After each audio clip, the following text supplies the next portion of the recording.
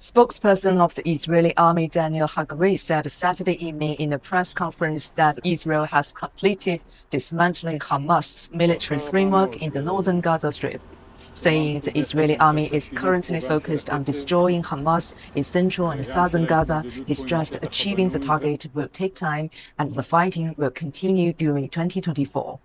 On Saturday morning, Lebanese military group Hezbollah said it is targeted an Israeli military installation with 62 projectiles, adding that the attack is an initial response to the alleged Israeli killing of Hamas deputy chief Salah al-Aruri in Lebanon on Tuesday.